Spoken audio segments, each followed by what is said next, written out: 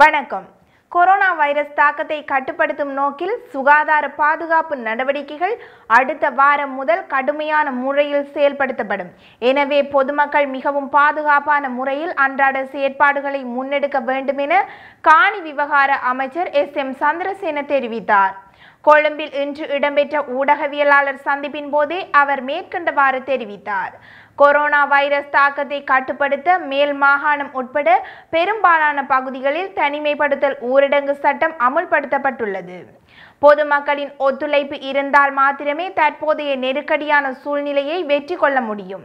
மேல் மாகாணத்தில் அமுல்படுத்தப்பட்டுள்ள தனிமைப்படுத்தல் ஊரடங்கு சட்டம் தொடர்பில் இவ்வாரம் இறுதி தீர்மானம் எடுக்கப்படும்.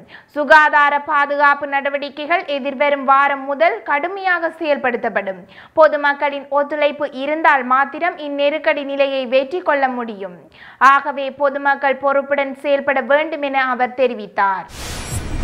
சுகாதார அமைச்சர் பவித்ரா வன்யாராஜி கடலில் பாய போகின்றார் என்ற செய்தியை கேட்டு பயந்தே திமிங்கலங்கள் கடலில் இருந்து கரையொதுங்கியுள்ளதாக எதிர்க்கட்சி தெரிவித்துள்ளது.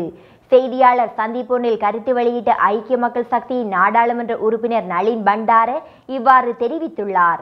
கொரோனா வைரஸ் கட்டுப்பாட்டுக்காக தமது உயிரையும் அர்ப்பணிக்க தயார் என்று பவித்ரா வன்னியாராஜி அண்மையில் நாடாளுமன்றத்தில் வைத்து தெரிவித்திருந்தார்.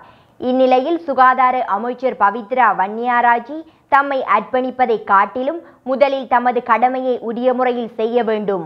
ஒருவேளை வைரஸ் பிரச்சனைக்கு தீர்வை காண முடியவில்லை என்றால் கடலில் பாயும் எண்ணம் அவருக்கு இருக்கக்கூடும். அவ்வாறு அவர் கடலில் பாயப்போவதாக தெரிவித்த செய்தியை கேட்டே பாணந்துறை கடலில் அண்மையில் பல திமிங்கலங்கள் கரை ஒதுங்கியுள்ளதாக அவர் கூறுகின்றார். சுகாதார அமைச்சர் பவித்ரா வன்னியாராட்சியினால் கொரோனா வைரஸ் பரவல் நெருக்கடியை கையாள முடியாவிட்டால் அவர் பதவியிலிருந்து விலக வேண்டும் என்றும் மாறாக தனது உயிரை தியாகம் செய்ய தயார் என்று கூற தேவையில்லை என்றும் முன்னாள் நீதியமைச்சர் மங்கள சமரவீர தெரிவித்துள்ளார். கொரோனா வைரஸ் பரவலை கட்டுப்படுத்துவதற்காக அண்மையில் சுகாதார அமைச்சர் பவித்ரா வன்னியாராட்சி மத நம்பிக்கையின் அடிப்படையில் மேற்கொண்ட செயற்பாடு பல்வேறு தரப்பினராலும் வெகுவாக விமர்சிக்கப்பட்டதுடன் பேசு பொருளாகவும் காணப்பட்டது. இந்நிலையில் இது குறித்து கடந்த செவ்வாய்க்கிழமை பாராளுமன்றத்தில் விளக்கமளித்த அவர் அதன்போது தனது உயிரை தியாகம் செய்வதனூடாக கொரோனா வைரஸை இல்லாதொழிக்க முடியும் என்றால் அதற்கும் தயார் என்றார். இந்த கருத்தை அடிப்படையாக கொண்டு மங்கள சமரவீர மேற்கண்டவாறு தனது ட்விட்டர் பக்கத்தில் பதிவிட்டுள்ளார். கொரோனா வைரஸ் பரவலால் ஏற்பட்டிருக்கும் நெருக்கடியை சுகாதார அமைச்சரினால் கையாள முடியாவிட்டால் அவர் பதவி விலக வேண்டும். மாறாக தனது உயிரை தியாகம் வழங்குவதற்கு தயாராக இருப்பதாக கூற தேவையில்லை என்று குறிப்பிட்டுள்ளார். பொது தேர்தல் நடந்து முடிந்தும் இதுவரையில் ஐக்கிய தேசிய கட்சியின் தேசிய பட்டியல் நாடாளுமன்ற உறுப்பினர் பதவி தொடர்பில் பல்வேறு இழுபறிகள் தொடர்ந்து கொண்டே இருக்கின்றது. இந்நிலையில் அந்த நியமனத்தை வழங்க மேலும் சில நாட்கள் செல்லக்கூடும் என்று கூறப்படுகின்றது. கட்சியின் சிரேஷ்டத்துவத்தை கவனத்தில் கொள்ளாது வேறு விடயங்களை அடிப்படையாக கொண்டு தேசிய பட்டியல் நாடாளுமன்ற உறுப்பினர் பதவிக்கு நியமனத்தை வழங்க தீர்மானித்துள்ளதால் இந்த நெருக்கடி ஏற்பட்டுள்ளது. எவ்வாறாயினும் ஐக்கிய தேசிய கட்சிக்கு கிடைத்துள்ள ஒரே ஒரு தேசிய பட்டியல் நாடாளுமன்ற உறுப்பினர் பதவிக்கு ருவான் விஜயவர்த்தன பொருத்தமாக இருக்க மாட்டார் எனவும் அதனை கட்சியின் சிரேஷ்ட உறுப்பினர்களில் ஒருவருக்கு வழங்கினால் இந்த பிரச்சினைக்கு தீர்வு கிடைக்கும் என்றும் தெரிய வருகின்றது. இதேவேளை ஐக்கிய தேசிய கட்சியின் தலைமைத்துவத்தை கூடிய விரைவில் கரு ஜெயசூரியவிடம் ஒப்படைக்குமாறு ஐக்கிய தேசிய கட்சிக்கு நெருக்கமானவர்கள் யோசனை முன்வைத்துள்ளதாகவும் தகவல்கள் வெளியாகியுள்ளது.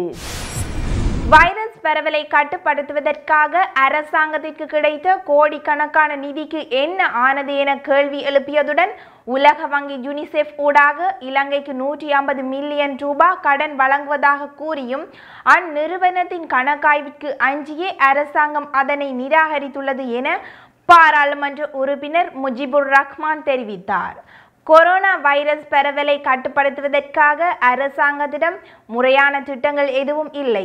வைரஸ் பரவல் தொடர்பிலும் அதனை கட்டுப்படுத்துவது தொடர்பிலும் ஆளும் தரப்பினர் எவருமே பேசுவதில்லை. இந்நிலையில் ஜனாதிபதி கோட்டாபய ராஜபக்ஷவின் அரசாங்கம் ஆட்சிக்கு வந்து ஒரு வருட காலம் பூர்த்தியாகும் தருவாயில் சுகாதாரத்துறையை முன்னேற்றுவதற்காக என்ன செய்துள்ளார்கள் என கேள்வி எழுப்பினார். இதேவேளை சுகாதார பணிப்பாளர் நாயகம் எந்த ஒரு நோயாளரையும் வைத்தியசாலையில் ஏற்றுக்கொள்ளுமாறு அறிவித்தல் விடுத்த போதிலும் கொழும்புக்குள் இருக்கும் தனியார் வைத்தியசாலைகள் நோயாளர்களை பொறுப்பேற்பதை நிராகரிக்கின்றன. இதனால் மக்களே தொடர்ந்தும் நெருக்கடிகளுக்கு முகம் கொடுத்து வருகின்றனர். அதனால் தொடர்ந்தும் மக்களது வாழ்க்கையுடன் விளையாடுவதை அரசாங்கம் நிறுத்திக் கொள்ள வேண்டும் என்றார்.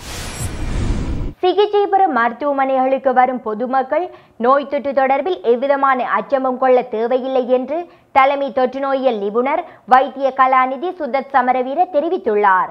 ஊடகங்களுக்கு கருத்து தெரிவிக்கையிலேயே அவர் இந்த விடயத்தை குறிப்பிட்டுள்ளார்.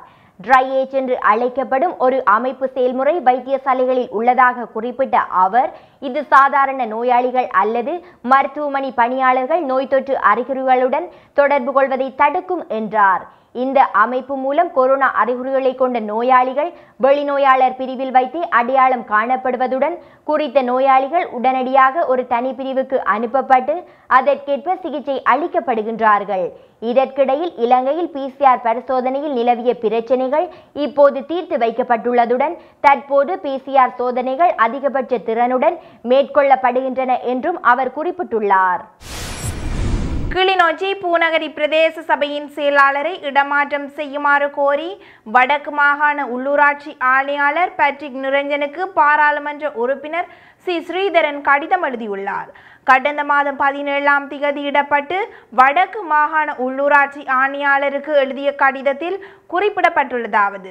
பூநகரி பிரதேச சபையின் செயலாளர் மக்கள் பிரதிநிதிகளுடன் இணைந்து பணியாற்றும் மெனப்பாங்கு அற்றவர் என்றும் அபிவிருத்தி திட்டங்கள் தொடர்பில் எந்த ஒரு கருத்திட்டமோ முன்மொழிவோ செயலாளர் தயாரிக்கவில்லை என்றும் மேலும் அவர் மக்கள் பிரதிநிதிகளுக்கு உரிய மரியாதை வழங்கவில்லை என மேலும் பல காரணங்களை சுட்டிக்காட்டி செயலாளரை இடமாற்ற வேண்டும் என தனது கடிதத்தில் குறிப்பிட்டுள்ளார். இது தொடர்பில் பூநகரி பிரதேச சபையின் செயலாளர் கருத்து தெரிவிக்கையில் ஒரு அரசு உத்தியோகத்தரான நான் சட்டத்திட்டங்களுக்கு உட்பட்டு செயற்பட வேண்டும். அந்த வகையில் உள்ளூராட்சி சட்டத்திட்டங்களுக்கு உட்பட்டு பூநகரி பிரதேசத்தின் செயற்பாடுகளை முன்னெடுத்து செல்லும் வகையிலே எனது பணியினை மேற்கொண்டு வருகின்றேன். சபையில் உள்ள பணி பணியாளர்களையும் அவர்களது கடமைகளை சட்டத்திட்டங்களுக்கு அமைவாக மேற்கொள்ளவே வழி நடத்தி வருகின்றேன் என்றார். மேலும் தனிநபர் விருப்பு வெறுப்புகளுக்கு அமைவாக செயற்படுவதற்கு எமக்கு சட்டம் ஒருபோதும் இடமளிக்காது என தெரிவித்த அவர் தனது இடமாற்றம் கோரிக்கை தொடர்பில் எதுவும் தெரியாது என்றும் குறிப்பிட்டார். நாட்டில் முப்படையினரால் முன்னெடுக்கப்படும் தனிமைப்படுத்தல் மத்திய நிலையங்களிலிருந்து நூற்றி ஐம்பத்தி ஆறு பேர் தனிமைப்படுத்தலை நிறைவு செய்து வீடுகளுக்கு சென்றுள்ளதாக வைரஸ் பரவலை தடுப்பதற்கான தேசிய நடவடிக்கைகளுக்கான மத்திய நிலையம் வெளியிட்டுள்ள அறிக்கையில் தெரிவிக்கப்பட்டுள்ளது. இதற்கமைவாக இலங்கையில் இதுவரையில் அறுபத்தி மூவாயிரத்தி நானூற்றி முப்பத்தி ஒன்பது பேர் தனிமைப்படுத்தலை நிறைவு செய்துள்ளனர் எனவும் முப்பத்தி மூன்று தனிமைப்படுத்தல் மத்திய நிலையங்களில் இரண்டாயிரத்தி அறுநூற்றி ஒரு பேர் தொடர்ந்தும் தனிமைப்படுத்தப்பட்டுள்ளனர் எனவும் குறித்த அறிக்கையில் குறிப்பிடப்பட்டுள்ளது. இதேவேளை வைரஸ் தொற்றுக்கு உள்ளானவர்களில் மேலும் எழுநூற்றி அறுபத்தி ஐந்து பேர் பூரணமாக குணமடைந்து வீடுகளுக்கு திரும்பியுள்ளதாக சுகாதார அமைச்சு தெரிவித்துள்ளது. அதன்படி சொற்றிலிருந்து இதுவரையில் ஆறாயிரத்தி அறுநூற்றி இருபத்தி மூன்று பேர் இதுவரை பூரணமாக குணமடைந்துள்ள அதேவேளை நாட்டில் இதுவரையில் ஐயாயிரத்தி ஐநூற்றி நாற்பது பேர் தொடர்ந்தும் வைத்தியசாலைகளில் சிகிச்சை பெற்று வருகின்றனர்.